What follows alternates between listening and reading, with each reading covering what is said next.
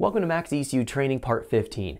This video we're going to be checking out the differences between a lambda reading and a gasoline air fuel reading that we see displayed on a wideband. It's important we understand these differences so that when we're going in and working with our MTune software and calibrating in terms of units of lambda, we understand exactly what is going on. Now in addition to this, we're also going to be taking a look at what the stoichiometric air fuel ratio represents in the programming value in our software.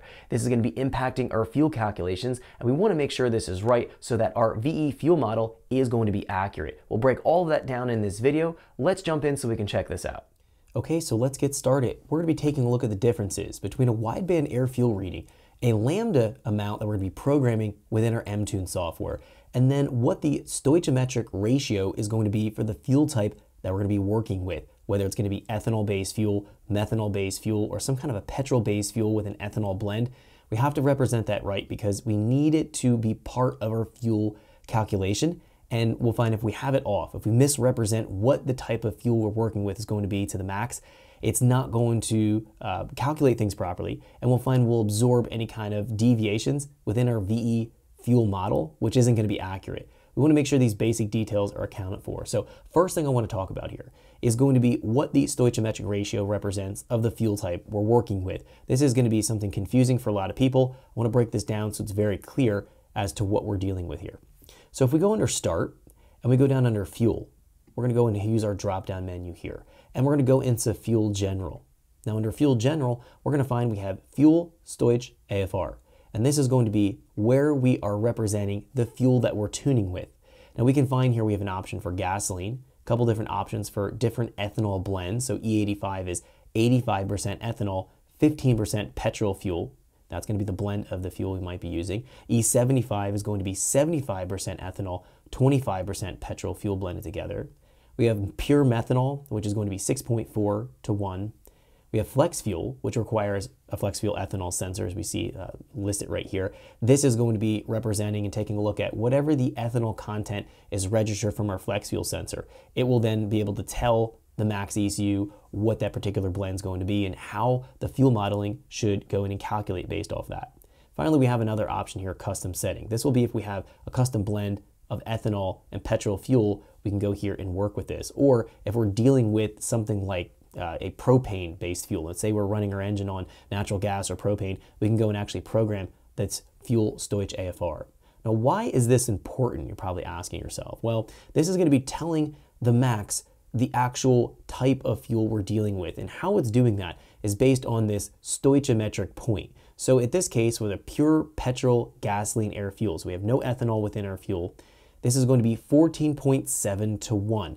This means this is the ideal burn ratio to have good fuel economy, good power out of the engine, and the best emissions output from the tailpipe.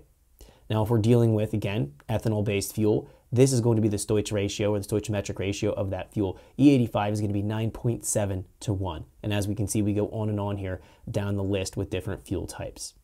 Now, let's talk about what this actually means when we're specifying this fuel Stoich value.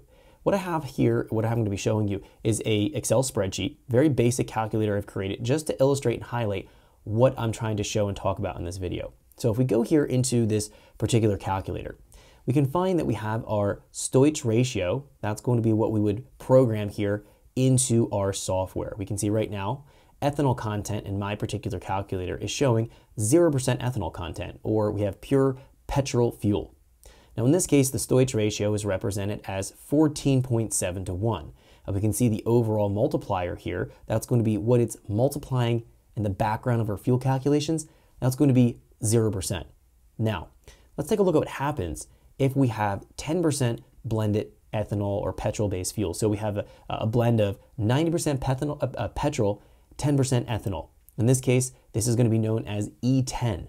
Now, 10% blended ethanol is very common in the United States. And around the, around the world, around the country, that might vary a little bit. But in the East Coast, the Northeast the United States, the majority of the gas pumps where I'm located will have 10% ethanol within the fuel. That is going to be very common. In fact, most parts of the United States will have some form of ethanol blended in the fuel. But in this case, I'm going to have 10%.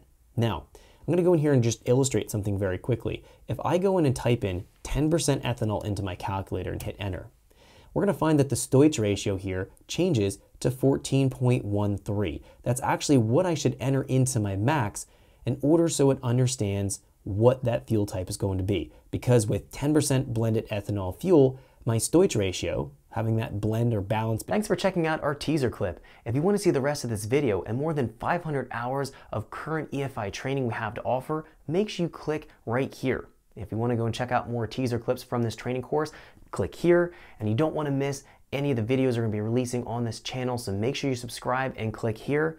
Thanks for watching, and I'll see you guys later.